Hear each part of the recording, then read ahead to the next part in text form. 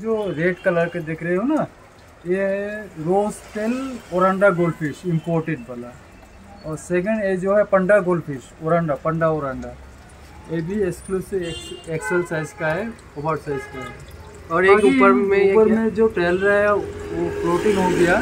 उसको किया हुआ है जो स्विम ब्लाडर बोल के एक डिज़ीज़ होता है खा, ज़्यादा खाने से भी होता है, दूसरा पापा उसमें वो स्विम नहीं कर पाता है।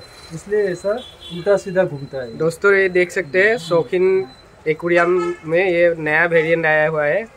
बहुत ही एग्जॉटिक वेराइटी का है, देखने में भी बहुत अच्छा है।